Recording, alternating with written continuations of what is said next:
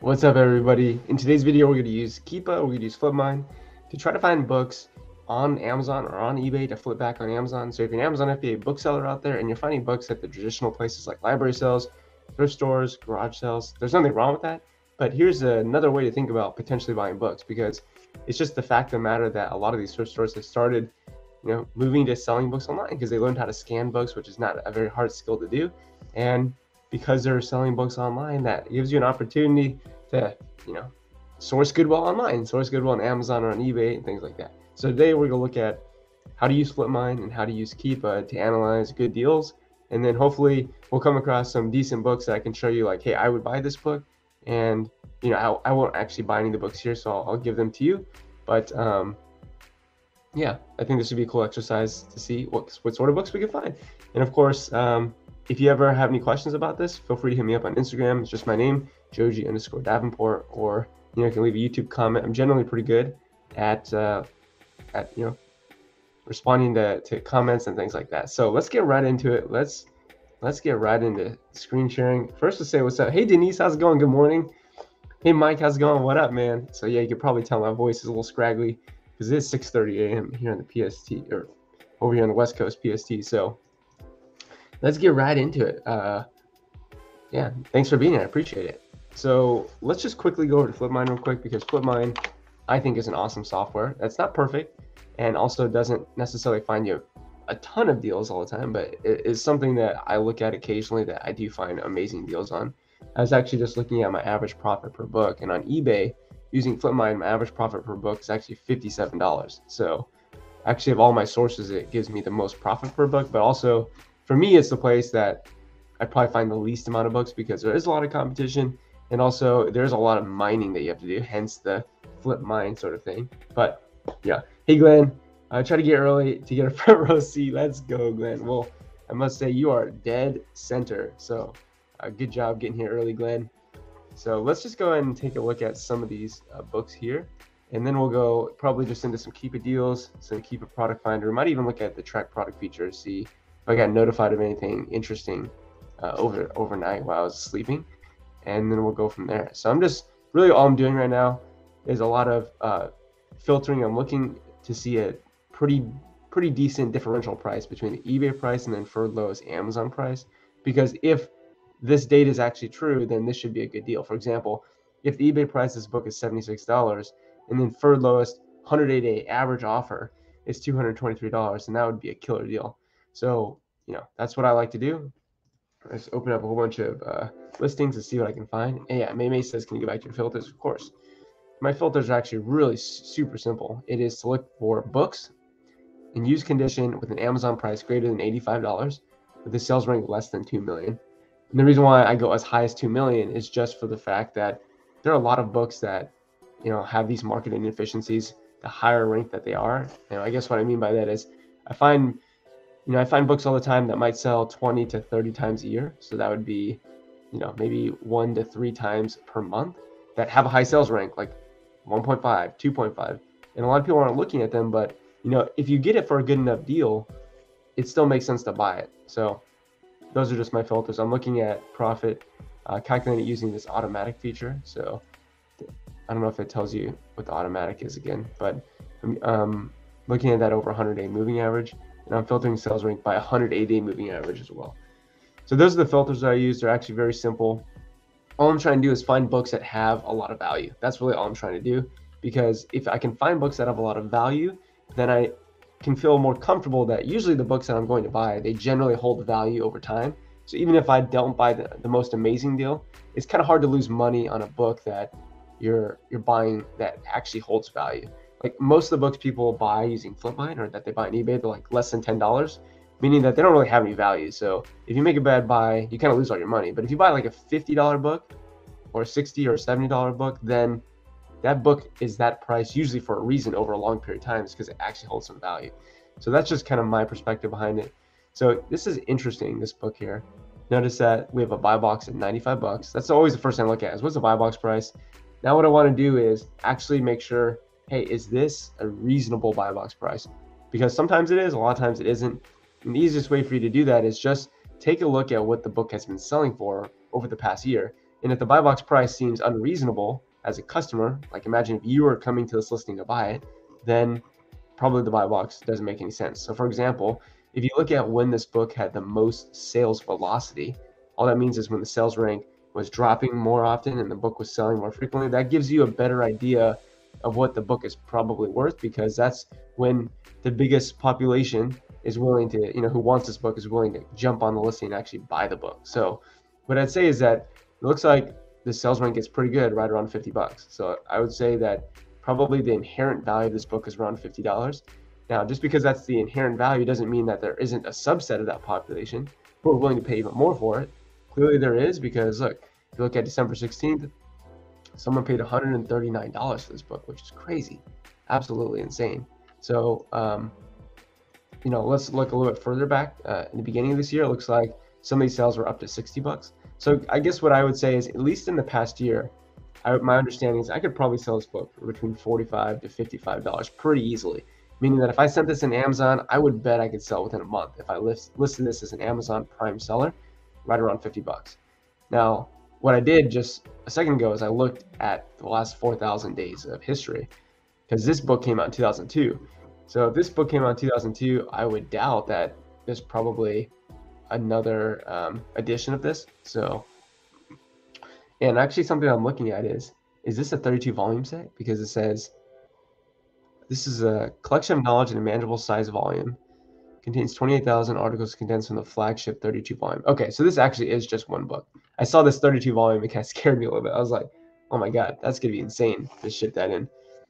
But the reason why I looked a little bit further back in history was just to see does this book actually sell for $45 consistently, not just this year, but for the last two years, the last five years, especially for books that have been out for so long. 2002, there really shouldn't be much of a difference between like 2018 to 2020 to 2022 because it's already been out for a long time. And actually, what's really interesting is that this book has been much less valuable in the past, and also its sales rank hasn't hasn't really been any better. So this is some other market play or some other like market influence that's probably causing this book to become more popular at a more expensive price, which is really interesting to me. So maybe if I really want to get to the bottom of it, I'd probably do a little research and figure out why is this all of a sudden more popular, and all is it why, why all of a sudden is it selling for more money? Now, what what is actually true is that in the grand scheme of things, the used offer count is much lower than it had been in the past. Like if we look at the used offer count in the past like year and a half, it was basically as high as 14 and as low as one or two. Versus if you look at the previous, you know, 10 or 15 years, it looks like um, the used offer count has gotten up to about 40 and it's been as low as maybe 12 or 13. So clearly, there have been just fewer sellers recently, and generally, that's a number one. Like that's something that definitely impacts the price of a book on Amazon is how many people are selling it. So, not sure if that's the whole story, the whole picture of why this is selling more frequently and why it's selling for more money, but it is interesting. So what you then have to determine is is this eBay price significantly undervalued? And my answer that would be no, because if I just said that I think the inherent value of this book in the past year is probably right around 40 to maybe 50 bucks, then buying it for 37, while a little bit undervalued, is definitely not a great deal to pick it up. And the reason why I say it's not a great deal to pick it up is because you could have bought this book for cheaper. Like if you look back in November, or actually September and October of 2021, this book was as low as three dollars plus shipping. So you you run the risk, is what I'm saying. You run the risk of buying a book that is actually not a great deal because there were other times that you could have bought the book for a better deal, and if there were times where you could have bought this book for a better deal and you wanted to buy the book to flip it, then you should have bought it then. Now, of course, no one has a magic ball, and no one knows every single book that they're going to come across, and it's not like they can go back in time and, and buy the book. My point is that if this book has been that low in the past before, what's stopping it from being that low in the future. So for me, this is a book that I would just pass on immediately because, like I said, even though I do see a sell for 139, I don't really think the inherent value of this book is probably much more than 45 or 50 bucks.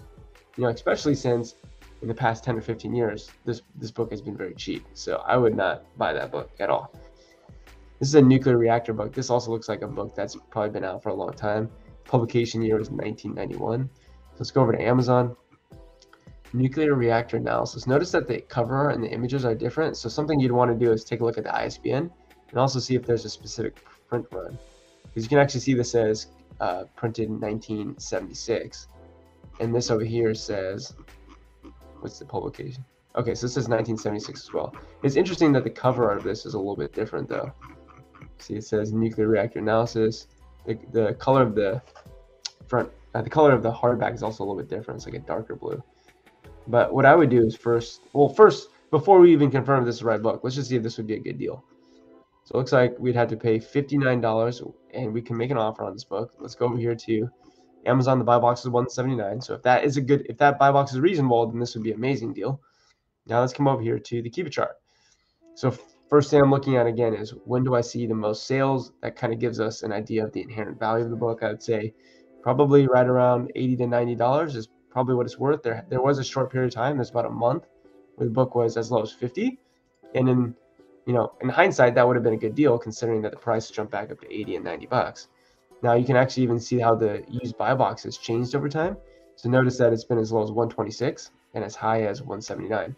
So uh, one thing I want you to notice is that even though um, this, even though um, the the lowest use price of this book is between you know is basically 80 eighty dollars at this point in time, the used buy box is actually still significantly higher. And a lot of the times that prime bump will be there, but when we at least when I I'm not saying you should do this, but when I do this, when I try to calculate whether or when I try to analyze the deal, I'm always trying to analyze based upon the lowest use price almost like as if I was going to be the lowest merchant offer. And that just, for me, bakes in a little bit more of, uh, you know, just it lets me be a little bit more conservative with my buys, if, if that makes sense. So, first six months out of the year, looks like this had some, like last January textbook season, there's some sales above 150. And then in March and May, there are, you know, a few sales sprinkled in at above above 100. And now actually we're right back, uh, right back at pretty much the middle of textbook season. You can see that this little U shape is starting to happen. And actually what I want to do is let's just look at the last textbook season last, oh, not that, let's look at the last January, right around here. So notice that textbook season last January kind of started late December.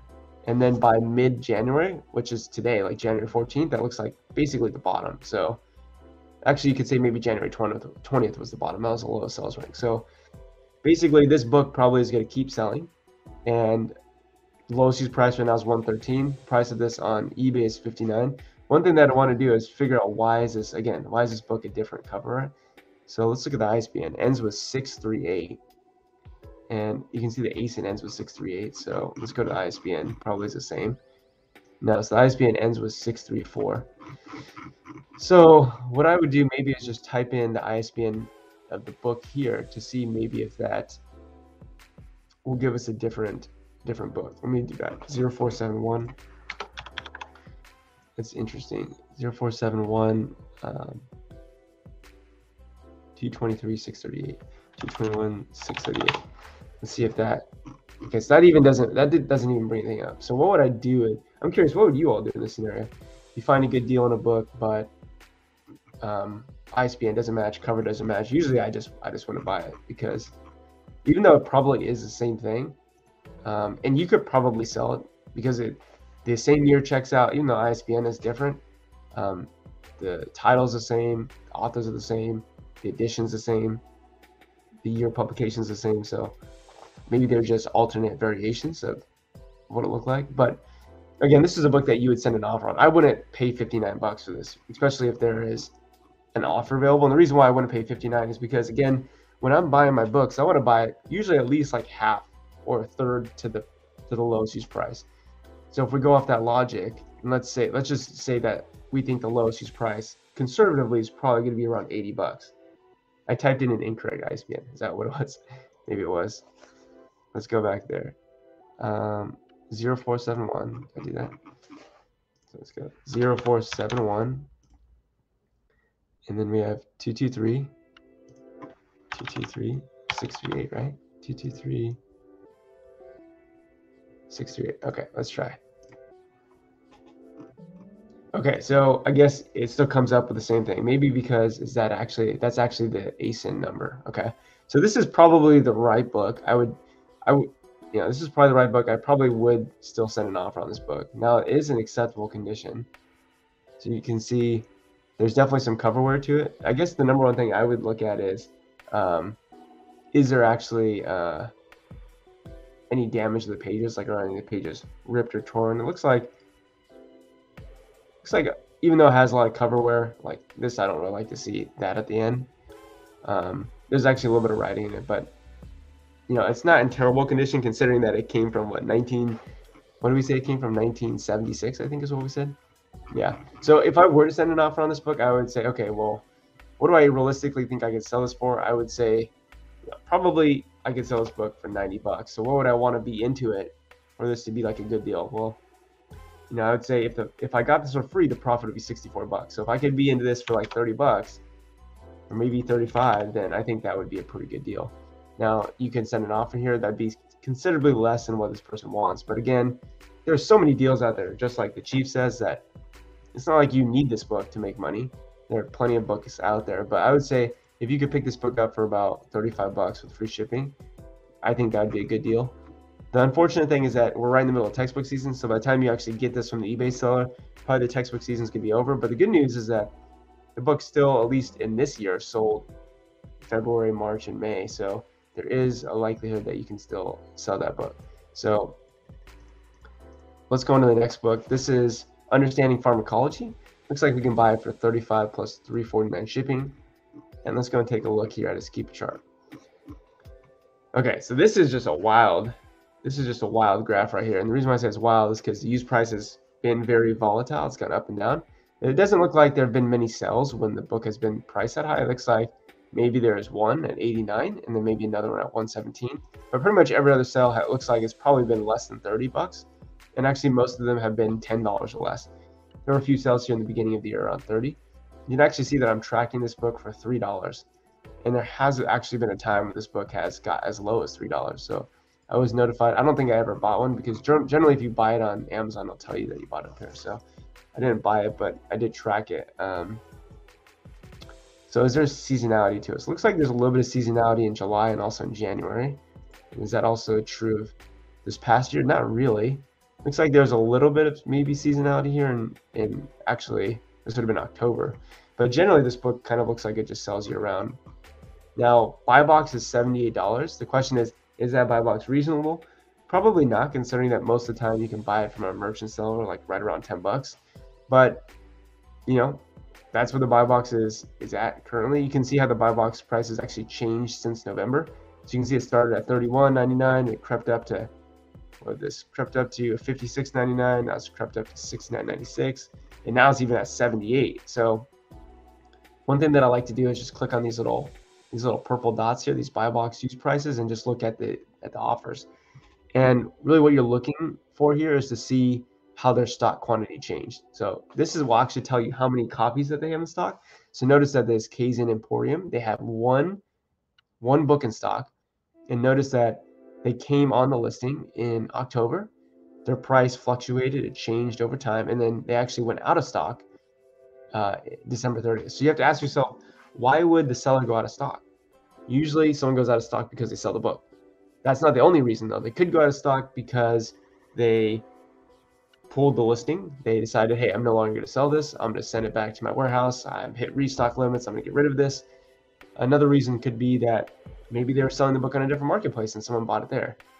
Probably unlikely considering that usually Amazon is going to be the premium marketplace in terms of what you could charge for a book.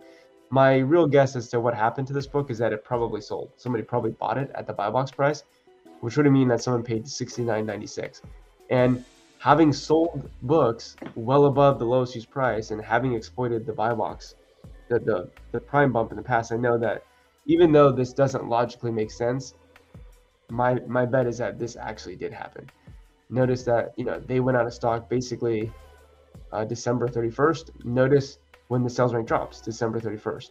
Look at the used offer count, went from 10 to actually 7.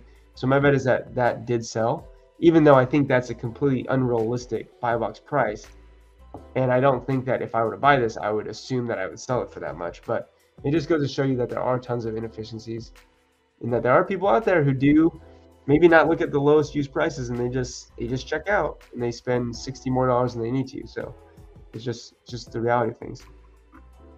Okay so this book here 84 bucks on on ebay looks like lowest used price start at 89 the buy box is 204 dollars So again, the difference between this lowest use price and the buy box price, which is usually the lowest Amazon FBA seller, that's called the buy box.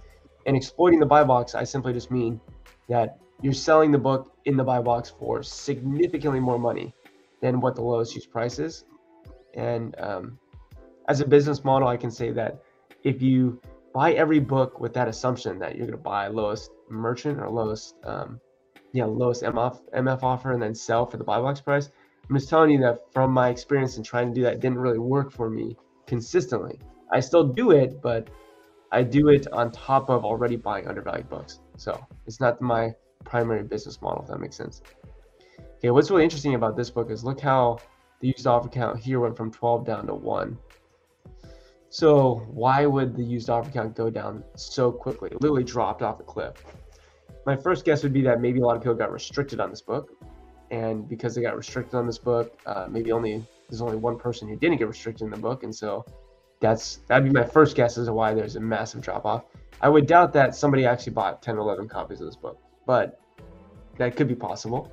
Um, yeah, I doubt that anyone be, would be. I mean, it's also Pearson, so that that would actually be my guess that Pearson probably gated people on this. That's probably why you see this big drop off. But $84 for this book I'm not seeing that that would be a good deal considering that for most of the year you could have bought this book for well under 100 like most of you could have bought this for as low as 28 bucks. And if we go back a little bit further there's been even time in 2020 2021 where the price of the book was pretty cheap. So even though there have been sales between 50 40 50 60 this is just a book that is very volatile. And it would have to be probably $15 or lower for me to even consider picking that book up Chief says that offers tab is great info for confirming a likely buy box use price as we gain more Keepa data over time. Exactly. What I'm really excited to see, Chief, is how that buy box price is going to, um, what this is going to look like after the first, you know, two textbook seasons this year, because it'll give you some really awesome data to see how oftentimes the buy box price in comparison to the lowest merchant, there can be mass differences in them, but also there can be no difference at all. So uh, I would say that what I think we will that we what I think we will see is for books that have really great sales ranks that are textbooks that are current editions. Those are books that there's probably going to be massive gaps in buy box price. And actually, something we could do is we could actually look for some of them. So let's see, what would be a book that probably like let's look at a human anatomy book, and um, let me go ahead and open up a new Amazon page because that's a potential eBay deal right there. So Let's look at some human anatomy books. And let's see what the buy box price looks like. So I'm trying to find a book that maybe hovers around. Let's just open these two listings up. If you don't know, these are great anatomy books. These two, a lot of the time, most people are probably restricted on these, but you can still sell these books to buyback companies for probably like 80 to 100 dollars still. So they definitely hold some value. I'm, I'm also restricted on them as well, but like, look how cool this is. We see all these buy box prices. Notice that generally the buy box prices is is above what the lowest use price is, and pretty considerably. Like down here at the beginning, literally at the end of December, like you could have bought this for as low as you know mid 90s, yet the buy box price was about 150. And I guarantee you that sellers are moving, and you can actually see how quick they're moving. Because look at this, this person, yes, well, came on the listing December 25th and they came in at a price of 153 and look how fast their stock went. So that book literally sold within like two days. So clearly there's there's people willing you know to, to pay more for the book when it when they do need the book prime. And for books that have greater sales ranks which just mean that there are more people coming to the listing and looking at the listing there's just more opportunity for the buy box to be exploited if that makes sense. So again here's another example. Lowest use price is 95 the buy box price is 144 same story here. If you look at the buy box price, generally it's significantly above. It's usually like 30 to 40 dollars above the lowest use price. And again, like let's take a look at it. Let's take a look at any of these offers. Like this person came on the listing at 165 back in late October. Then um, they actually went to, to two stock here in December 20th, and then they went to one stock right away. They sold a copy right around what that'd be 136, and then they sold out. They sold out. So he sold both copies at 136. So clearly that was above what the lowest used price was. You know what I mean? All right, so let's see this book. 76 bucks on eBay. Let's go over to Amazon. Buy box is 224. It's probably unrealistic. let's look at some of the sales. So we have what three sales here at 75. Then interestingly, uh, out of stock, nobody was selling this book. So actually, there was one time when the price went, somebody listed for $48, and then the used offer count disappeared right away. So that could be someone bought it and the sales rank just didn't register. And I actually would bet that that could have happened. But the book basically wasn't listed for a while. Then it was up to 148. Nobody bought it. Somebody did buy it at 148 about two months later. A little bit of volatility, and then probably there's a sell here about 148 would be my guess. So this book has sold for a substantial amount of money before. What I would do is go back and look at what when when was this book at its best? Like when was it selling most frequently? And he says, "Do buyback companies still pay good money after textbook season?" Uh, I would say that they might pay actually. Yeah, I don't. In my experience, after textbook season, they usually pay right around the same as during textbook season. Because if you think about it from their perspective, if they buy a book from you during textbook season, they have to receive the inventory, then they have to list it. And especially if they're going to sell it prime, there's no way they're going to get it in for the textbook season. So I would say, Denise, just check a buyback company today. And I bet you in two weeks or three weeks is probably not too much different. It might be a little bit less because the next textbook season is going to be so far out from now. But yeah, I would say generally the generally from my experience selling books to buyback companies, their prices don't don't normally vary too much throughout the year. So this book has a much better sales rank at $30. That's because that's what Amazon was selling it for. And clearly there's a lot of people willing to buy the book for that. So I would say the reason why I said I think that this book sold here at $48, that's the reason why I went out of stock.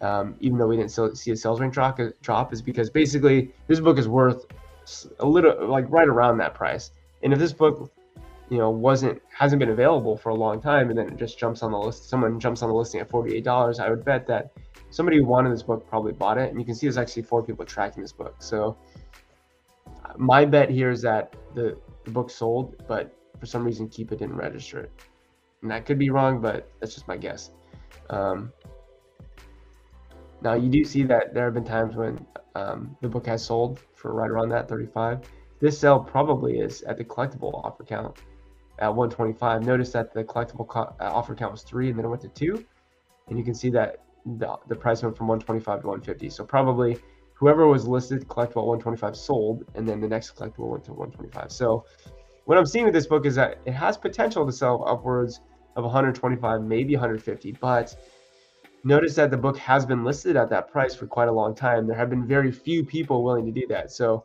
if you were trying to sell it for that, you would probably expect to wait on it for minimum three months, maybe six months.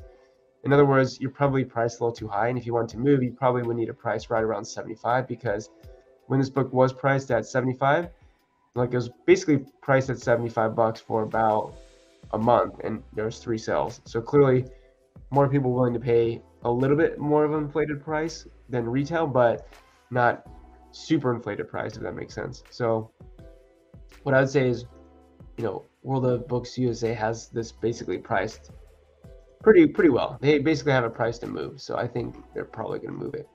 So yeah, this this book clearly its value is right around 25 bucks, and the price jumped up to about 346. Why? No idea. No, I don't have any idea why any anyone on this listing would be asking that much money for this book. There is the only the only precedent that was set for uh, like the highest the highest that this book is sold for is about 116. So that's what the data looks like. There's no reason, no logical reason why this book should be listed at 346. And notice that nobody bought it because, like I said, there's no logical human being that's willing to pay that much money for a book when they could have just bought it a month ago for 26 bucks. Notice that the sales rank is pretty good during this time, but notice that it's also not selling out. So there isn't even enough demand to completely buy out the buy out the market at this price. So I'd say this is probably right around what the book is worth. Now you can see that a logical human being came on the listing and, and prices at $61 as the Amazon FBA seller, which in my opinion is still probably a little bit overvalued, but probably what that person's saying is, hey, you know, this book has been has sold for 90 to $100 a couple of times in the past. And probably what they're trying to do here is they realize that, hey, there's no logical human being on this listing selling this book. So why don't I come on the listing as a logical human being and sell the book? and let's actually It's actually no prime offers. So there, there is actually no prime offers. These are just merchant fulfilled sellers. And it looks like ThriftBooks Atlanta is the one at 61. So they're they're winning it here. Now, interesting about this book is whoever this person is, they have a hundred of these in stock, and it's gonna take them a long, long time for them to sell this out because notice that at a price point of about 25 bucks, this book may be sold 15 to 20 times, and if they have a hundred stock quantity, like this gonna take them forever to sell out. If they wanted to sell out, they'd probably have to list it like 20 bucks, and it'd still probably take them at least like four or five months. So yeah, definitely not looking, not gonna be buying that book. So let's just, oh, not that. Let's just go ahead and keep going. Let's see if there's been anything else that's updated here. Anything else that looks interesting. This might be interesting, this drawing Beautiful Women book. Let's take a look at that. Let's see, we already looked at stuff down there. Okay, let's see anything else cooking it up. Let's see. The social workbook looks interesting. However, I'm gated in that. Not sure if I can get ungated in that, but we'll still take a look at it. So this is 33.49. Let's see what the price is here on Amazon. You can buy it for 15. Okay, so this is actually a book that you might want to buy on, on Amazon, or there's possibility to buy this on Amazon. The reason why I say that is if you look at the Keepa chart, most of the sales that have occurred this year have been about 35, and right now the price of this book is 14.96.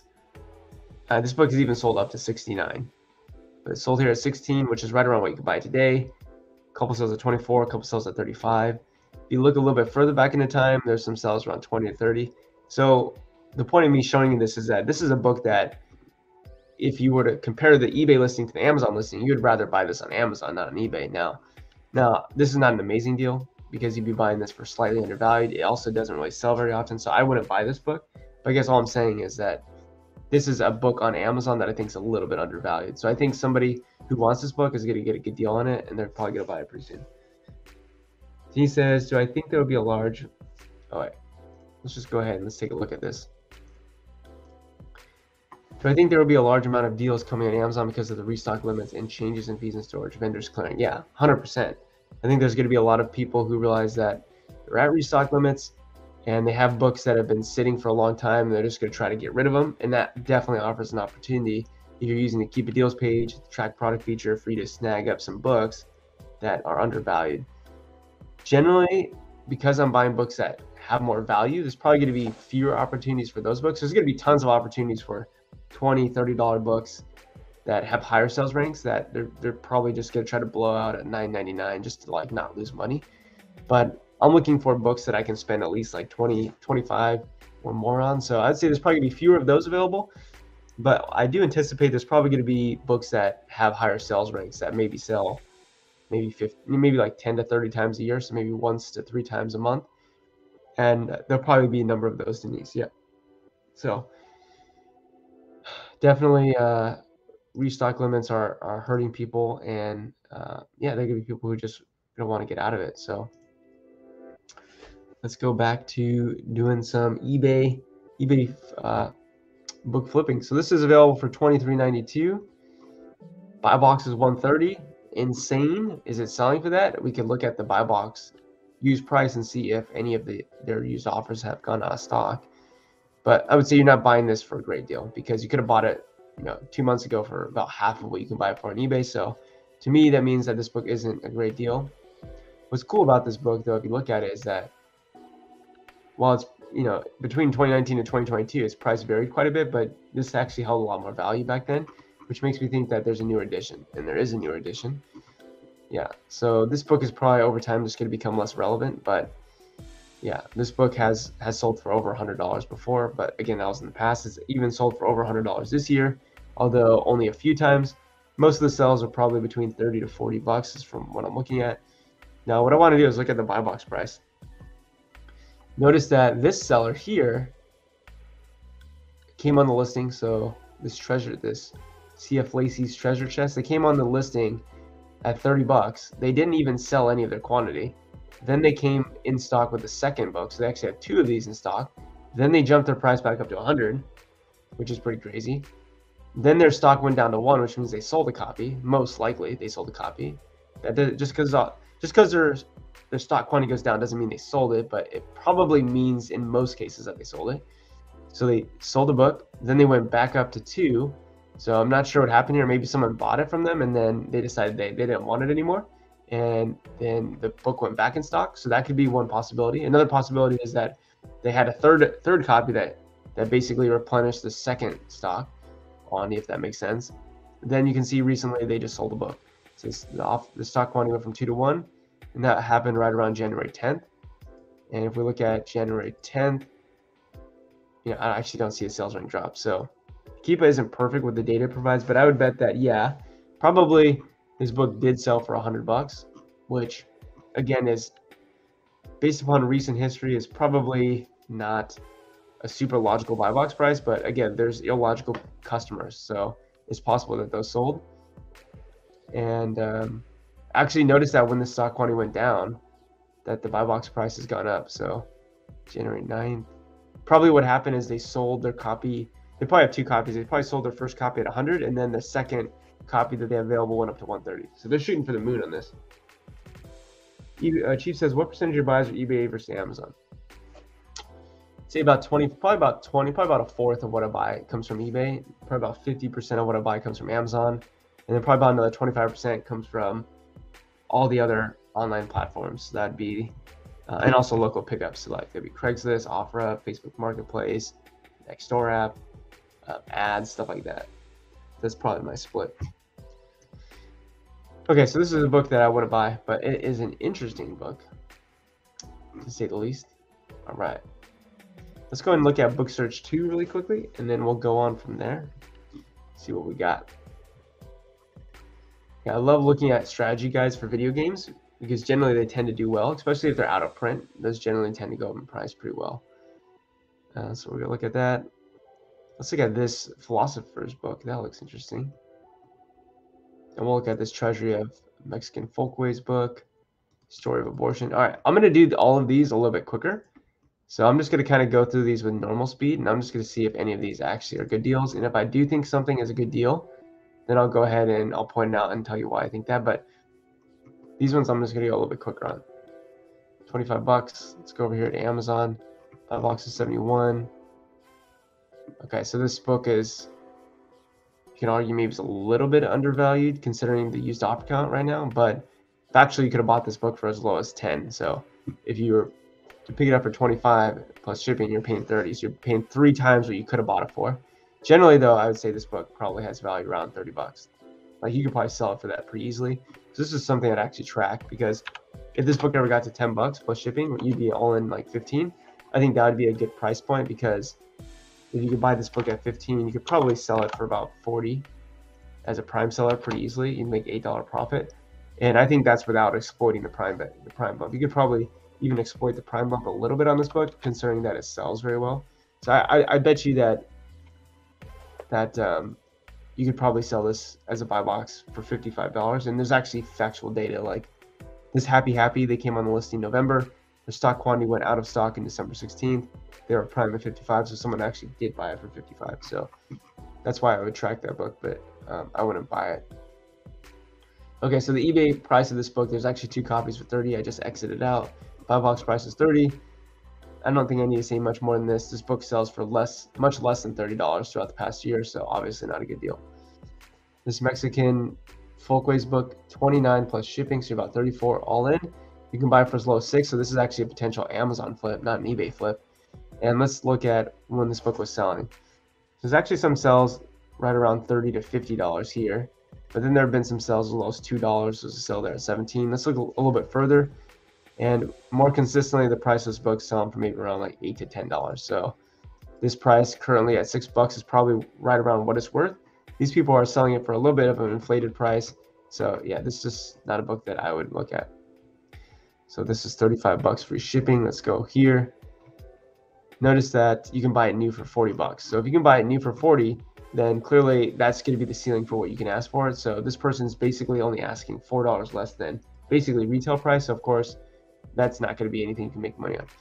26 bucks here on eBay. Let's go over to Amazon. The used price is about it's $23. The buy box is 46. It's probably a reasonable buy box price.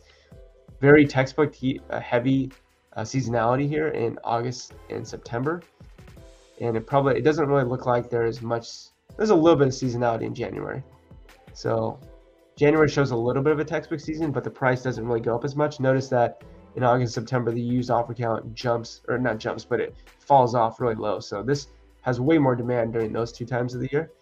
Um, and again, you can see that here, how the used offer count, we're in the middle of textbook season, the used offer count hasn't actually gone down. And actually, the used buy box price is actually going down, which is counterintuitive to what you think. Is there a new edition of this? It doesn't look like there's a new edition, but yeah, I would say maybe if you could pick this up for 20 bucks right around June or July, maybe it'd be a different, maybe be a different story because again, this book sells generally most during the August textbook season. Now, the good thing is that this book is trending down in offer count, even though it goes up in the non-textbook season, it goes down during the textbook season. Generally, it's trending downward in terms of used offers, so that's a good, that's that's that's uh, good news. But let's go and look at Google to see if there's another edition. So, acting film, what edition is this? This is a fifth edition. So when I just Googled it, it looks like I don't see a sixth edition. So this is probably the oldest edition. And one thing that we could do is look at when this book was published to see what the publishing cycle is. So this was published in 2007. So this book has been out for a long time. So what I would do is just take this same title, Acting One, and then I'm going to type in Cohen, and I'm going to type in fourth edition. That would have been the previous edition to see what that looks like. So look, the fourth edition came out in 2002, which is interesting that the fifth edition came out only what five years later, and and this book has even sold three times for 30 bucks. So that's interesting that the, the old edition is still selling. But it's what's peculiar is that there hasn't been a new edition since 2007. You'd expect that this should have come out with a new edition. So, yeah, interesting there. Now, there also looks to be a hardcover, although it's probably a different cover art. Yeah, it's a different cover art. Actually, it is the fourth edition that we were probably just looking at. Is that true? Let's see. Come on, Keepa. Something. All right, we don't want to know that badly. So yeah, I would say that this is a book that I want to pick up. It's what twenty six seventy nine. With that said, um, my bet is if you did pick up one of these copies for 20 like 26 bucks or 27 bucks you, you'd have to to make money on it you'd have to hold it until august september with restock limits i don't want to be holding this for seven months but you know like i said if this was maybe $20 right around june july and this is the most current edition i bet you that this is likely to happen. The price is probably going to go up. You could probably sell it 50 60 70 maybe even more than that. But um, I, I wouldn't buy it. And so I think a lot of times I tell you like you could probably make money on this. I'm still not going to buy it, and that's just because I'm very selective with what I buy. Because there's just so much money to there's so much so many books out there to buy. And there's so many potential deals that you want to make sure that you're getting a great deal. And a lot of the deals we come across in these streams are like good deals or they're okay deals, which means that you could probably make money on them, but I don't, you know, I want to buy great deals. I want to have $50 plus profit per book kind of a thing. I want to be doubling doubling my money. So I'm being very selective with what I buy. This looks very interesting to me. And the reason why this looks very interesting to me, and this is a book that I would definitely send an offer on if I can get ungated. See, I'm not eligible, but I could probably get ungated in this pretty easily. It's probably manual ungate. Is that this book is about $38. If you look over on Amazon, there's no no point in time in the last year where you could have bought this for $38. And as a matter of fact, most of the time it's the price of this book has been 50 or higher. There've been some sales at 65, but generally this book is selling for well above what the price of this book is on eBay right now. So what this tells me is that this eBay seller actually knows what they're doing. Generally on eBay, you should be selling your book for less money than on Amazon because Amazon is a way better marketplace in terms of the number of customers that you're going to see.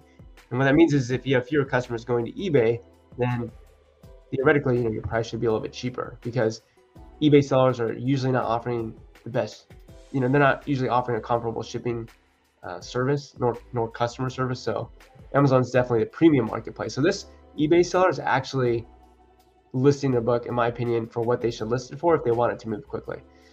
Now, interesting about this book, you know, Amazon sold for about $33. Obviously, the sales rank of this book was amazing back then, but for some reason, July 2020, basically the price of this book just jumped up to 70 and it just, you know, it's kind of gone down as low as 50, but this has been very stable this book is selling. Now, I wouldn't buy it outright for $39 because my thought process here is that I would buy it for 39, I think it's 43. I would say you could sell this pretty easily for probably right around 55 to 60 bucks.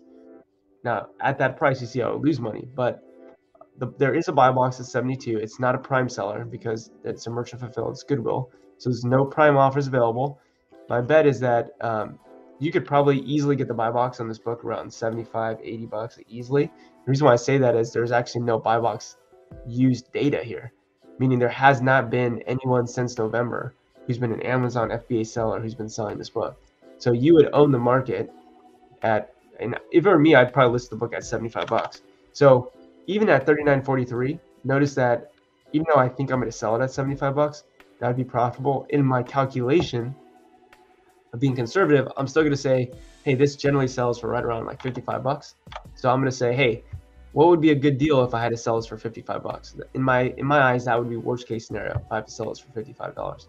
So I would say, okay, well, if we put this to zero cost price, the profit would be 35 bucks. So what would I need to be for this to be like 100% ROI? Have to be like maybe 18 bucks.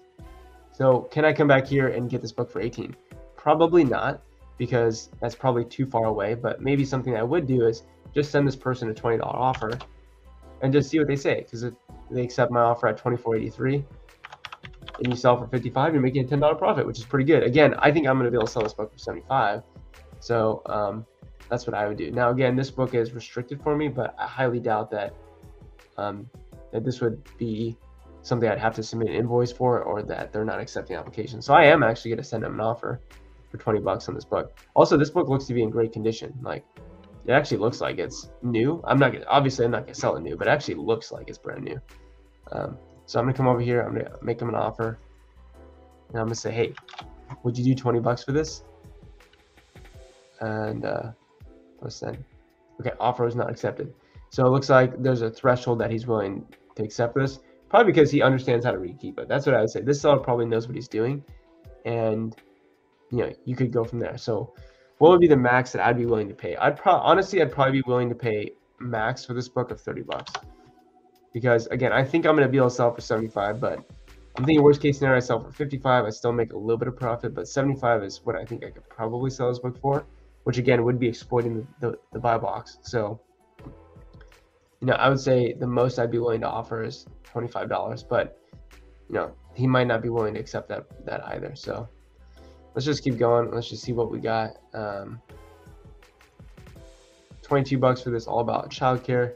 You can pick that up on on Amazon for basically that price. Actually, for a good part of the year, uh, this book has been 40 40 plus dollars. So right now, uh, Glenn, I'm using a software called SellerAmp, which you don't need, by the way. It's just I like it for the Google Sheets integration here, and I like it for the calculator. But I want to say it's like 20 something bucks a month. So I it gives me enough value for, for it to be worth it, but it will tell you if you're eligible to sell it here. It basically connects your Amazon account. There's also another Chrome extension. I forget what it's called. Um, this one, uh, restricted or hazmat. I forget what this Chrome extension is called, but there's a free Chrome extension that will basically pair up with your Amazon account and it will tell you if you're restricted or not. But clearly, it's struggling right now to tell us if we are or not. Um, yeah, I hope that makes sense.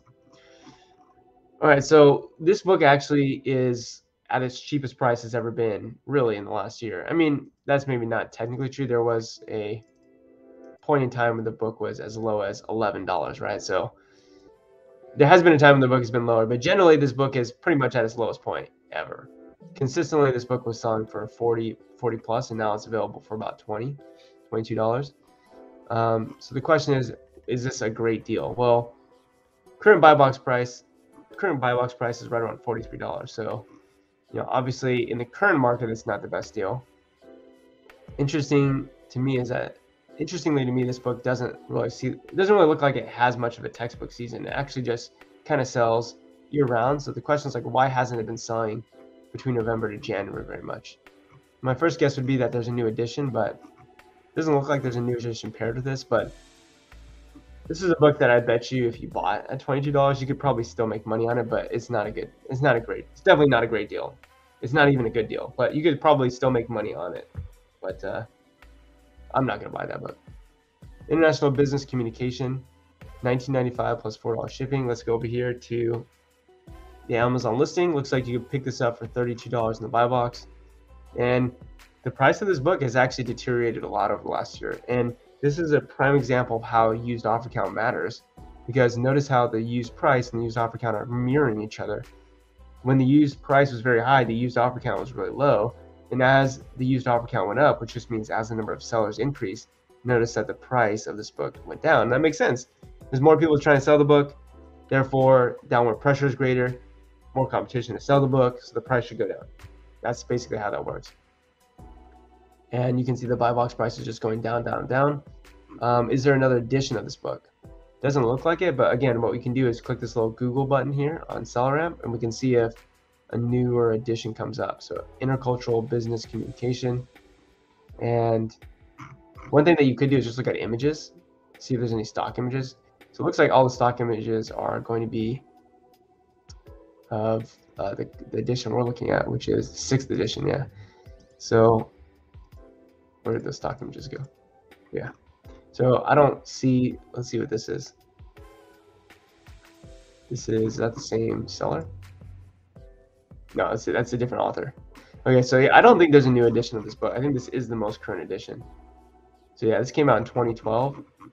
Another thing that you could do is you could just literally type this in, copy that, paste it in Amazon, and then you can just type in 7th edition, see if that comes up. And it doesn't look like there is. Yeah, 6th International Edition. So that looks to me like the newest edition available. So would this be a good pickup? Um, you know, the used offer count is going up, which is not a good sign. Used price is going down, but we are in the middle of textbook season, which is not a good sign if the price of the book is going down during textbook season. Generally, you want the price to go up during textbook season, but actually, this book has sold for quite a bit of money in the past. And in the grand scheme of things, right, this book has been very valuable. Like it's sold very consistently for $50 plus, despite the fact that it's been out since 2012. Like this book has been out for 10 years. And I don't see a new edition looks like the used offer count is starting to creep up a little bit. Like you can see that overall the trend was going down, and then all of a sudden it started going back up. Um, so this is a book again I wouldn't buy because I don't think it's a great deal. But I wouldn't be surprised. With that said, I wouldn't be surprised if the price of this book started, you know, kept going down. You set a tracker, you picked it up for ten bucks. I wouldn't be surprised if you were able to flip it for forty or fifty dollars sometime during the year because even though the used offer count is high, this book probably still is a little bit undervalued. But again, and not enough to me that it's like, all right, I want to buy that book. But uh, again, what I found is that just the more selective you are with the books that you come across, the more likely it is that the books you buy are actually great deals that are going to make you money.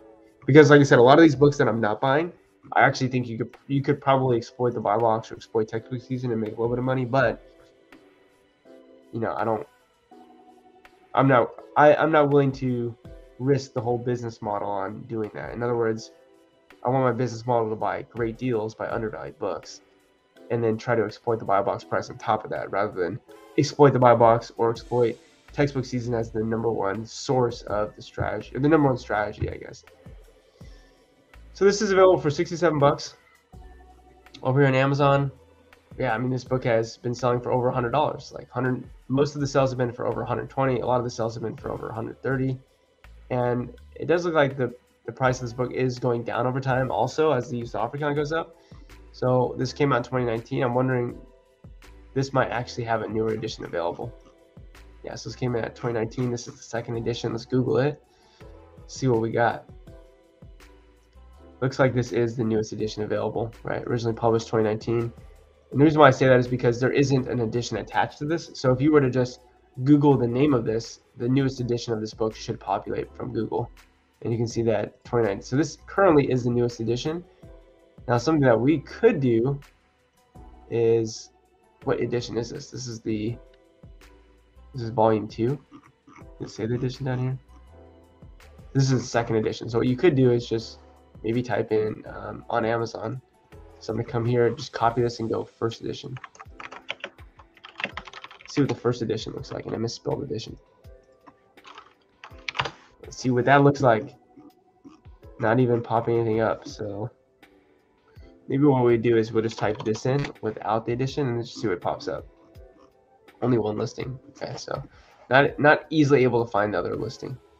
But would this be a good deal? $67. Well, looks like price of this book is starting to tank a little bit, you will, obviously there's no point in buying this on eBay because it's on Am- it's on Amazon for the same price. So if you were to buy it, you might as well just buy it on Amazon because if you have an Amazon um, Prime Store credit card, you have five percent off every purchase. So clearly, there's nothing on eBay giving you five percent back. So if you used you know, an Amazon credit card, you get five percent back. It's a better deal if they're the same price. Also, in my opinion, the customer service is way better. So I would always prioritize buying the book on Amazon over eBay if they're the same price, for the fact that you get you get five percent cash back. You also um, have better customer service, and then also you're removing that copy from the Amazon Marketplace, which bumps up the, the other prices. Right, you're removing one used offer count. So that's why I prioritize buying it on Amazon rather than eBay if you were going to buy it. But I would say that this book probably is going to I, I don't know. This book could go back up in price. I don't know. I don't have a crystal ball. I don't know what's going to happen to this book. My guess is that as the used offer count goes up, the used price of this book should go up. And because I'm not able to see the first edition, I wasn't able easily able to find this new edition. I have no idea what the publishing cycle is. So I have no idea if the first edition came out in 2012, if it came out in 2017, but it clearly does matter because if there are new editions that are, you know, if because if we could look at the old edition and see what it's selling for, that would give us a good indicator of maybe what this book is going to do in the future. So um, I would say that this is just a lot of capital to invest in this book. And even what would you sell it for? Like, if you bought this for about 70 bucks and you sold it for 119, like, you know, you're gonna make $20 profit. That's a lot of money to risk for a 27% ROI. That, in my opinion, is not guaranteed. So I wouldn't buy it. But here it says, you sometimes take a look at Bookfinder to see if there's a better price in eBay. Yep. I do all the time because Bookfinder is an awesome tool. So I have it bookmarked up here. So it's Bookfinder. And what you could do is, you know, just like take this book here, take the ASIN, go here to Bookfinder, type that in, and it'll show you all the new and used prices on these different marketplaces. And you can see that eBay is the cheapest at 5.95. And like this is an argument for this probably this book's probably undervalued right now. If there's one copy at 5.95 and then all the other copies are well above that. This is probably a book that's undervalued right now on eBay. So let's take a look at it. You can pick this up for six bucks from Orion uh, Tech LLC over here on Amazon. Lowest use price is 25. The buy box is 50. Buy box is 79. That's crazy. So look at the Keepa data here. This is interesting. This book is definitely undervalued, but you know to what extent? Most of the like a lot of these sales are right around 20 to 25 and there have been a few recorded sales upwards of 55. If you look further back in the past, this book was pretty consistently selling between 30 and 40 dollars. There is a newer edition of this book available that came out this year in July. If you can see the bottom right, I see the Keepa chart there. So I don't know why the seller is selling it for so cheap. This is this will definitely sell to someone who actually needs a book. If it doesn't sell to someone who's just you know going to resell it, but I would say that this is a book that I would probably buy because the reason being is that even though there's this newer edition out, notice that if you want to buy this newer edition, you still have to spend 150 bucks for it. Like this newer edition price is not going to go down much probably anytime soon. Um, what is actually interesting about this book is that is this, this is the eighth edition is that this actually isn't the same book. This is the 21st edition, and this also says 2023 on it. So, five minute pediatric consult are these the same authors? Barry Golding and Demeter. Okay, so these aren't even the same author. So I would I don't even think this is the right. I don't even think this is paired correctly. I don't even think that that's correct. So um, yeah, we'd have to do a little bit more research, but this isn't even the correct. This that's not even the newest edition there. But yeah, five bucks on eBay. This actually, in my opinion, would be a, a pretty good deal because you buy this, your your cost basis on this book is so low that you know, worst case scenario, you lose five dollars and ninety five cents. That's literally like the worst case scenario. And if you just were to sell it for twenty five bucks, which is what it's been selling for, you'd make a dollar profit, which obviously is not amazing. But you know, I think you could probably there is like factually historical data to show that it has sold for up to fifty. So if you had if you did sell for fifty, I mean, you make a twenty two dollar profit, which would be awesome. But if it were me, I'd want to move this book pretty quickly. I'd buy it for five ninety five. I'd probably put it in there for like thirty four ninety nine say $34.99 and make like a $10 profit because I'd want it to move. Now notice that the buy box prices are really high right now. And the question is, did it sell? So let's actually look at the. So this is the buy box use price. If we look at that, we can actually see that the person who is in stock at this buy box price uh, didn't go out of stock. So they're still listed at $79. So they haven't sold it. In other words, this sales rank drop probably was for, well, had to be somewhere between these two values. It's probably at $25 is probably the sell. Now let's see if any of these offers are sold sold at $69.99. So this probably did sell because this seller here, their price was 199. They jumped down to 41, then up to 69.98. Shoes of Greatness, great name by the way. And then you can actually see that the stock went from one to zero, which would indicate that they probably sold out. Like I said, the reason why someone's stock would go from one to zero is most likely because they sold the book. But it could be for another reason. It could be they sold it on another marketplace. It could be that they delisted it. it could be that they got restricted and it was pulled from their, their, their inventory. It could be that they got a pricing, uh, you know, incorrect pricing error, high pricing error alert from Amazon. So there's a lot of reasons it can go out of stock. But my guess is that it probably did sell, and it looks like the stock quantity went to zero on January 9th. So if let's zoom into January 9th, and let's see if we can see a sales rank drop. And this would be January 9th, so we don't see a sales rank drop. Um, so that doesn't necessarily mean didn't sell. It just means that maybe the sales rank drop is a little bit off, which keep Keepa definitely is not perfect for sure. But I would say that this book here, I would like I would buy this book. Partly due to the fact that the risk of the risk reward of this book is the risk of this book is so low, the reward of this book is so high because you're only buying paying five ninety five for this. I think you could as a prime seller, you could probably sell this book for thirty four ninety nine pretty easily. And look, here's more proof of that. This person came on the listing November 1st, 39.95 as the buy box price, and a month later they sold the book. Stock went from one to zero. So, like I said, I think this is a more reasonable price. So even if I sold this at 39.95, that's a $15 profit, which is a great flip on this book. Excuse me. So I would say is that this book should be gone pretty pretty soon. Yeah, Adam's out of stock because that's actually that's actually a good deal. Uh, let's actually see what else we got here. Blaine says, recently found a book on eBay, then went on Biblio. After hearing it from you, there's a 10% member program. Better to buy it there versus eBay. Yeah, I have the Bibliophile membership as well. Uh, I think it just depends, Blaine. If there's only one copy available and the price of the book is really good on Amazon, I would just buy it on Amazon because you got to think about it from the perspective of the seller. They have the book listed on multiple marketplaces. They're going to accept the offer that was sold on the marketplace where you know they got more money for. So if let's say you came across the book and someone else came across the book and you bought on Biblio, and then someone buys it on Amazon 10 minutes after you bought on Biblio, the sell is probably still going to come from Amazon. They're probably going to cancel your order on Biblio because they're going to net more money on Amazon. So I guess what I mean by that is if you think there's a high likelihood that someone else is going to buy the copy on Amazon, I would probably just buy the copy on Amazon because there's the time it takes for the listing software to recognize that the book sold on Amazon or sorry on Biblio and then pull it from the Amazon marketplace, it might like there's a certain amount of time that's going to take, and obviously the seller is going to prioritize the book that sold. Like they're going to prioritize the marketplace where the book sold for the most most money and cancel the other order. So I definitely use Biblio. Uh, I definitely use uh, Biblio because the Bibliophile membership pays for itself pretty quickly. 10% back. You only pay 20 bucks a year. Basically, you know, you could buy four or five bucks and make all your money back pretty easily. So I would say I definitely use it in cases where maybe there's like two or three copies at a good price. But um, if it's a great deal, I would just buy it on buy it on Amazon. I hope that makes sense. Yeah, and if anyone else has any questions, let me know. But that was actually that was actually a pretty good deal because that was pretty low risk, high reward there. And like this book just sold already. So this sold at 727. This is sold but seven minutes ago while we were just sitting here. That's what I mean. This is probably a good book. Look, look at the eBay price, $69, Lowson for 217. Let's look at the Amazon price. Look, this is probably, yeah, this was a great deal. This is an amazing deal, actually.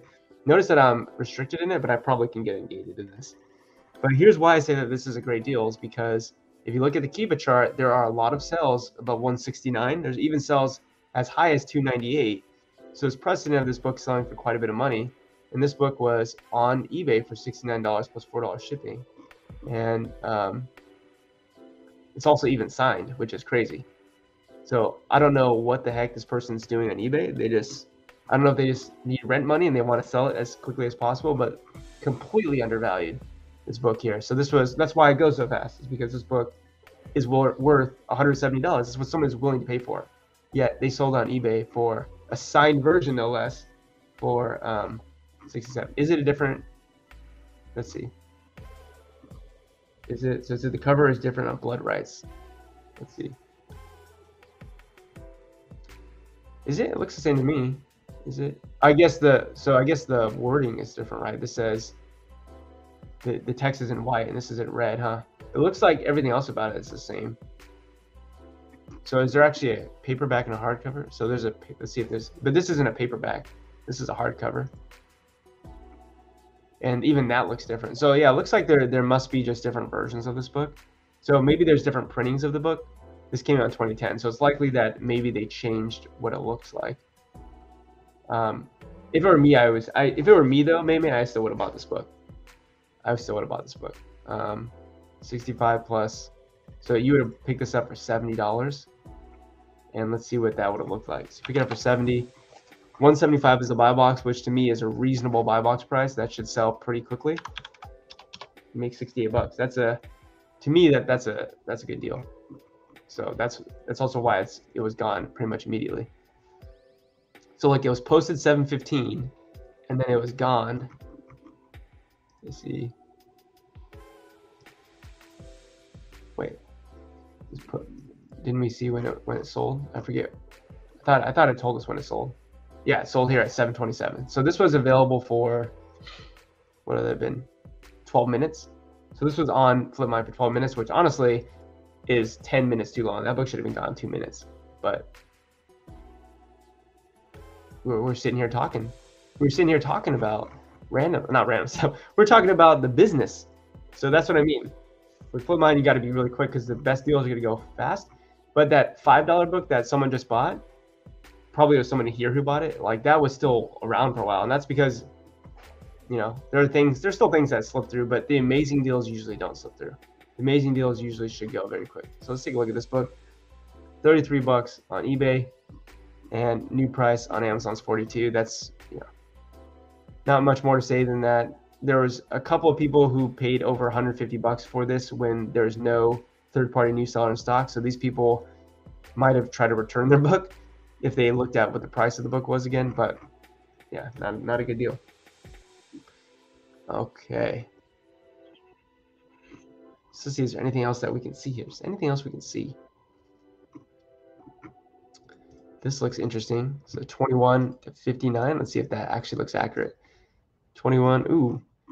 Lowest use price is well above the eBay price, which is good news. The buy box is well above the lowest use the, the eBay price as well. The question is, the Keepa chart is going to reveal whether or not this is actually valid or whether or not this is realistic information, like whether or not this is actually a, a good selling price. So go to the Keepa chart, and obviously it's not. So that's what I mean. Keepa tells you everything you need to know. It tells you the story of this book over time. The story of this book is that it's basically worth 10 bucks. Like five to 10 bucks is what it's worth. That's what it's selling for. Why is the price so inflated right now? You know, went up to 130. I'm, I have no idea. There's really not much reason why this why someone should even try to price this for more than 40 bucks because there is no precedent for this book selling for anything more than that. So someone asking 140 for this book doesn't make any sense to me. So yeah, so I would say that uh, definitely definitely not a book that you'd want to buy. So uh, let's see. Not seeing anything else that looks the best here. That looks very good. But I'm probably gonna probably gonna um, wrap up the stream here pretty quickly. So let's just go over and maybe let's just do a little bit of a little bit of Q and A. Anyone have any questions? How's textbook season going? How are the sales for people out there who have textbooks? I'm curious. It's actually not as great as I thought it would be, in my opinion. So, um, baby boy is awake. Yeah, I'm gonna I'm gonna head off soon. baby boy is awake. So that's why that's why I stream at 6:30, everybody, so that I can do this before he wakes up. And when he wakes up, it's time to be a baby. Baby boy is awake, says Steve. yep. All right, so I'll just hang out here for about maybe another minute or two. Any questions anyone has before we before we go? and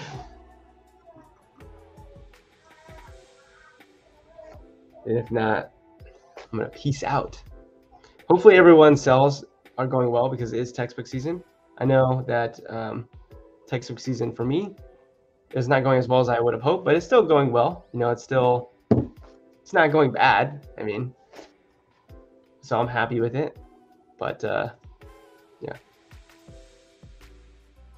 Uh, Glenn says, "Is there a reason you have not spent a couple hundred dollars to get ungated in McGraw Hill?" It's a good question. Actually am ungated in McGraw Hill. I'm just not ungated in McGraw Hill. Does doesn't ungate you in everything. So I did spend about 50 bucks to get ungated in McGraw Hill. So I am ungated in part of McGraw Hill that they let you get ungated in, but there's a specific category um, of popular textbooks that are very likely to be counterfeited, Glenn, that includes not just McGraw Hill, but Pearson and Cengage. And those books, they don't accept applications for. Denise says, I just packed my first order to pick up from UPS. Let's go. So did you, I'm, I'm curious, Denise, did you look, did you watch the GoToLister video at all? because maybe that's where that comes from. But that's awesome. Yeah, four dollars is awesome. Is an amazing deal. Think about that. You can get UPS to pick up your boxes. Like from my front door, over here, my front door.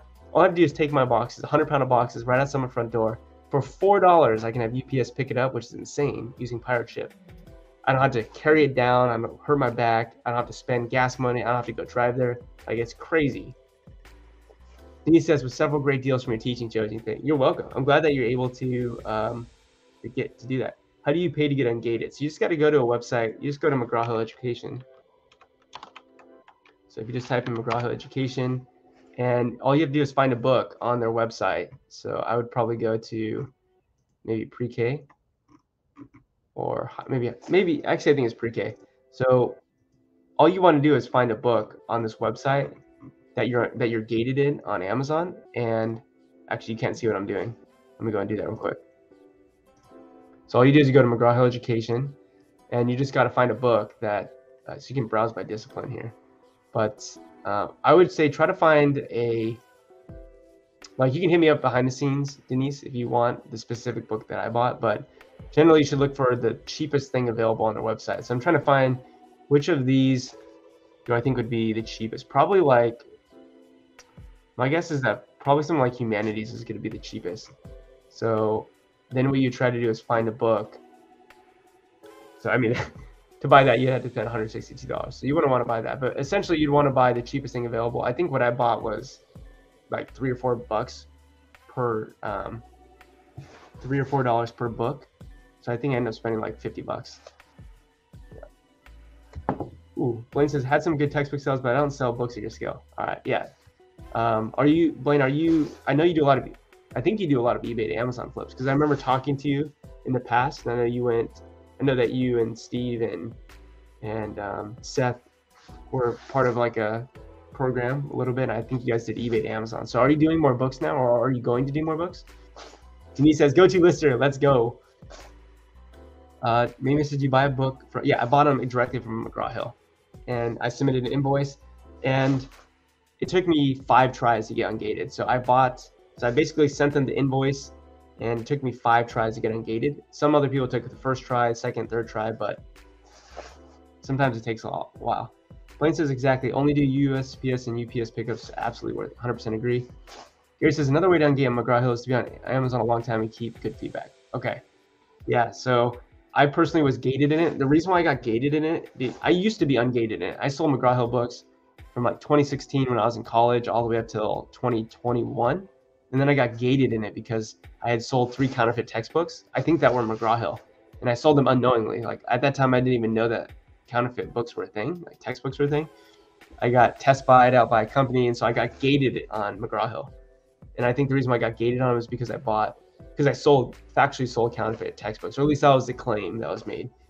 And like I said, I wasn't uh, doing my due diligence at the time because I wasn't even aware that was a thing. So then I had to, so I got gated. So then I had to re ungate myself. Liz says she was auto ungated, which is awesome. That's cool. Rosemary says, when is the deadline to buy textbooks? I don't think there's any deadline. I think you can buy textbooks year round. Are textbooks to sell most frequently? They're going sell most frequently during January and the August, September textbook season. Some books also have textbook season in May or even March, but I personally buy textbooks year round. I'm even though we're halfway through textbook season, I haven't slowed down my buying. I'm literally buying consistently, basically the whole year.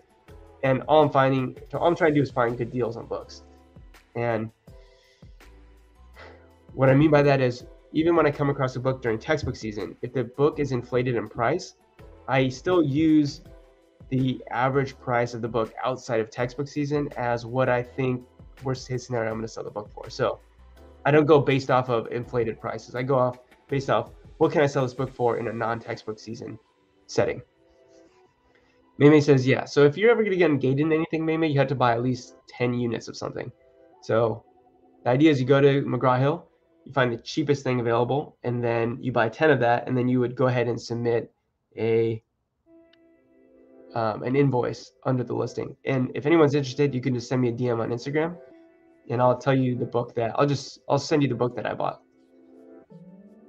Ooh, Steve has a wonderful. This is a great question. Do I feel that GoToLister is better than Accelerlist? I think it depends on what kind of book strategy you have. I think that if you are an Amazon, if you're an online book arbitrage seller, I think right now Accelerlist is better. And the reason why I think it's better is because it's cheaper. It does everything you need it to do, and um, I think the right now the UI look of it, like the visual layout of it, looks better. But with that said, Accelerlist is not probably going to be changing anytime soon. I know GoToLister and Avery and his software developer, they're changing it over time. So I would say that if you are um, if you are somebody who just sells books and gets them from thrift stores, and you're somebody who gets them locally and has really low buy costs, I would say GoToLister is way faster. So it just depends on your strategy. For me, because every book that I buy, I have to look back and figure out what my min and max price is going to be because I'm actually spent I'm I'm paying up for these books. Like my average book cost is twenty seven dollars. I can't just let this software list it for me at whatever price it deems is is good. So for me, I, I still have to open up the listing, do the Keepa analysis, and set min and max price. So for me, I would prefer to use Accelerlist because it's better. But if I was somebody who is doing thrift stores, library sales, local meetups, I would 100% use GoToLister because literally it's like boom, boom, boom, boom, boom, boom, like fastest scanning software out there. And um, especially for new people, I would recommend probably GoToLister because most new people new sellers have no idea how to list anything on Amazon because they don't know how to read a Keepa chart. And GoToLister is actually going to help you price better, help you price a little bit higher on books that have better sales rank. So I just say it depends on your business model. Probably for my audience, most people I'd recommend Accelerlist because you're going to need to analyze Keepa charts. So it's also a little bit cheaper. So that, that's just my honest opinion about it. Rosemary says thanks. Maybe it says, can you post on the on the Discord? I'll just private. How about private message me? I don't know if I necessarily want to give all that information out to people because uh, that ungating is actually pretty valuable. Like that ungating has made me already probably like a couple thousand dollars this year, and not that I'm not for giving all the information out, but because you're here, I want to reward you. Like I'll give it to you, but um, so just yeah, just send me a message on Discord and I'll let you know what it is. Blaine says, just looking to add 10 to 20% in other categories that don't usually sell, slowly getting into books and DVDs. Just got ungated today and mostly sell electronics and games. Cool. So Blaine, did you get ungated using uh, Christian books? I'm curious because I think Christian books is uh, is the ungate still. That's how I got ungated. By the way, if you're not ungated in DVDs, you need to get ungated in DVDs because the DVD category is insane, especially if you're doing thrifting because there's so many people restricted in DVDs that if you go to Goodwill and you go to probably just Goodwill. But if you go to local libraries, uh, local thrift stores, they usually have a ton of sealed DVDs, and they're usually really cheap. Like even if you're just selling fifteen dollar new DVDs, like you could you could be doing well. My dad actually, I taught him how to sell on Amazon. I taught him back in 2017. He still sells pretty, and he basically sells all DVDs now. Like he goes around to thrift stores and he just buys new DVDs, and I think this year, I think last year he did like 75 or 80k, which is pretty insane just just from that. Denise says, thanks for your time and expertise. No, no worries, Denise. Thanks for being here. I appreciate it. Gary says, if money is an issue, you can get Scoutly Live for $10 and get Turbo Lister included. Gary, that's a great question. I should actually, um, you know, I should probably uh, do a video about Turbo Lister. I've never used Scoutly. I've actually never used Scout IQ either. So I've never used Turbo Lister. And the reason why is because I've always just done textbook flipping and I've always done online arbitrage. So I've never while I have gone to thrift stores and stuff, I just felt that for me, I like the business model, spend more to have things more filtered for you. But um, yeah, Steve says I appreciate the feedback. Of course, man, no worries. Blaine says yeah. So Christian Christian Books DVD, I think is what it's called. So if you're not ungated in Christian Books DVD, I think is what it is. I don't think, I don't think that's the right. I don't think that's the that's the that's not the correct uh, website. There's a there's something Christian something that you can get ungated in DVDs, and that will definitely definitely help. Then says great info, Joji. Thank you. You're welcome, man. Mimi says I sent you a reminder on Messenger for the book. Okay, sounds good. And the one other thing I'll say is, so we just talked about Accelerator, Accelerlist, and we talked about GoToLister. There's also Inventory Lab, which I had only used once in like 2017, and I didn't use it very long. What I want to do is actually start using Inventory Lab just to try it out and give my feedback on that listing software. Because I think that like it's not like one size fits all. It's like each of them is going to be you know have a specific purpose for somebody. So I'm going to try to make an inventory lab video of how to list on inventory and sort of the metrics it keeps track of. So I think that would be good. Christian Book Distributor. Okay, maybe that's what it is. Liz says, hit that like button. Thank you, Liz. I appreciate it. Yeah, if you, if you like the content, you find that's valuable, number one way to help the channel out is just spread to more people, and you can do that by hitting the like button. Gary says, thanks, Joji and the group. Yeah, Gary, if anybody here in the chat wants a question answered, answer, go to go to Gary. And then if uh, on the other hand, if you want to be stumped by a question, then ask Gary to ask you a question that, and you won't be able to answer it most of the time. So for those don't know, Gary, uh, he always asks me questions, very insightful questions that most of the time I can say I don't I don't know the answer to that, Gary. I'm sorry. So that's cool. Um, how are sales? I'm curious. How are sales looking like for everybody? I know like it's textbook season. I'm sure that if you're here, you probably do a lot of books. So what is textbook season looking like for you? Have you seen any slowdown in sales? Generally, what I found during the textbook season is, especially on weekends, those tend to be slower because that's when students are obviously just chilling. They're going frat parties. They're probably not doing much schoolwork, if you know what I'm saying. So, like for for me today, like I haven't even sold. You haven't even sold anything today, which is crazy. It's I mean it's only 7:52 a.m., but it's also a Saturday. So, Gary says, uh, "Ha ha ha ha." Thanks, Gary. Good to know. Yeah. Ooh, maybe it says sold one for 175. Do you know what you picked it up for and where you got it? That's that's awesome. 175. Um, 175. I'm trying to think if there are any wins that I had recently uh, with any of the books. There have been, there definitely have been some crazy books that I've sold. Now I'm going to be making some videos, some videos coming out soon of some books that I sold that were pretty insane in terms of like what they flipped for. So I'm excited for that to come out. I'm gonna be coming out with a video of one book in particular that I picked up for 92 cents plus shipping and sold it for 150, which was crazy. But I bought it on Amazon. I bought it on Amazon for 92 cents plus like six dollars shipping, and sold it for 150 because I'll, I'll, I'll tell you why in the video. But that was actually a pretty cool pickup. Maybe picked it up for 30. Where did you pick it up? That's crazy. You picked it up for 30 and sold for 175. That's insane margin. Steve says you have a huge and loyal fan base, and we appreciate much love. I appreciate you, Steve. That's awesome. That's super super kind of you. Glad that I'm glad that everyone's here and that you're you're willing to come come along so early in the morning. And uh, I love to see so many people here 10, 12, 13 people. Yeah, I know, Blaine, right? 92 cents. What was crazy about it, Blaine, is it was 92 cents prime offer. So if I used my prime shipping account, or if I used the prime service, I could have bought it for 92 cents.